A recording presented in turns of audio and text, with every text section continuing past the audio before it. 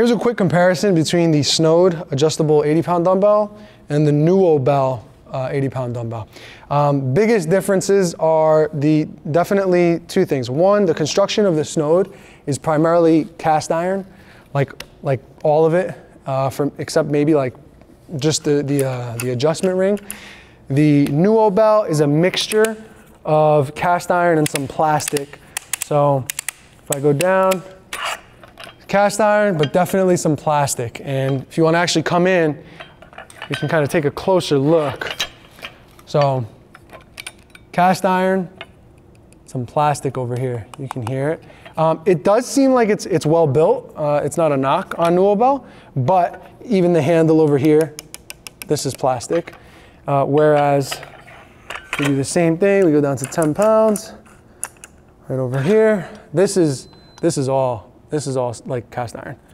Um, I mean, every, every piece of it. There is maybe a piece over here that might be plastic. Actually, I don't know, it sounds like metal. Um, the, the adjustment ring is, is, is plastic, but the, in, the inner rod, as you can see, it's actually also metal. All right. The other biggest thing, obviously, the adjustment style. This is a twist of a handle, which actually feels nice. This is the adjustment ring, which also feels nice. Very quick, pretty smooth. Uh, other than that, they both go to 80. Um, they both they both feel great. I would assume the the Snode would probably now this is just a guess probably last longer because literally every part of it is metal.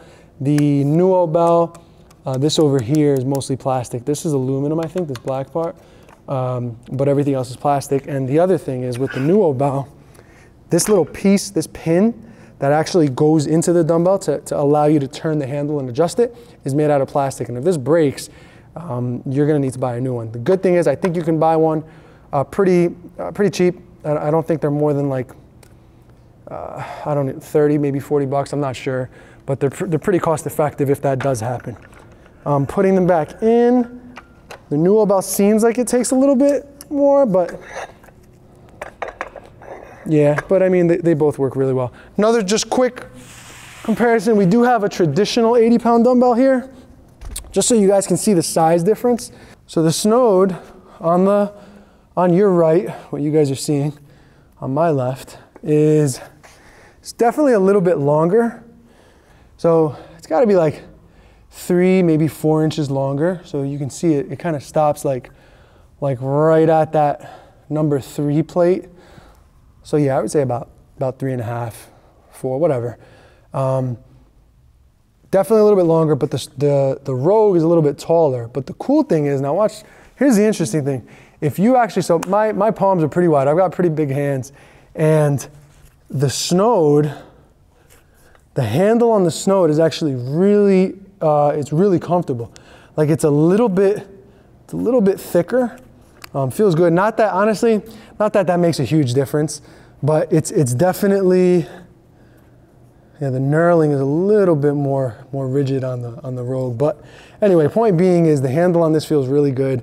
It's definitely, it's definitely well made. Um, just a little bit of, a little bit of knocking so you guys can, can get that. I don't want to fully drop it, um, but I, I can definitely see the durability in it. Obviously, you know, this isn't going anywhere. Like there's nothing in here. It's all static. It's in one, one, one dumbbell. But for something that has, you know, one, two, three, four, five, six, seven, eight plates on one side, another eight on the other, and then, you know, rings on the other side, like, which, which is, you know, it's not going to turn because that would be bad if it's not in the cradle. Um, it's definitely robust. And once again, just taking it, putting it back in, So I just knocked it on the ground a bit and look, sure enough, rotates back down to 30. One more thing, one more thing. The handle on the Nuobell. here's the size of my palms. I've got pretty wide palms. The handle on the Nuobell is a little bit narrow. You can see by me grabbing it, I'm touching both sides, just about, actually yeah, I'm touching both sides of the handle. When I go over to the Snode, same grip. I'm not touching either side. All right, and then you go over the traditional dumbbell, same deal. You've got a little bit of space. So the one thing with the Nuobell is definitely the uh, the size of the grip might might make a you know a difference to you. Um, to me, it does a little bit, uh, but otherwise, uh, I don't think you can go wrong with either one. Uh, one more thing, I think I, I hope we didn't uh, forget this, but the Nuobell does change um, going in five pound increments. So that could be a deal breaker for you on the Snode.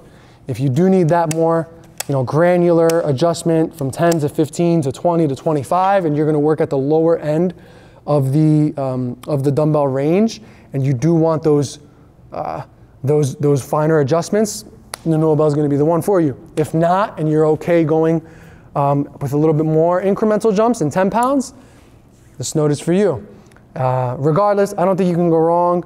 Um, price wise, I think they're about, about the same. I want to say the snow is, if you go for the pair, is a, is a little bit more, like a couple hundred, a couple hundred dollars more. The one con that I'm, that I'm actually considering right now is it does go up in 10 pound increments, which could be a con.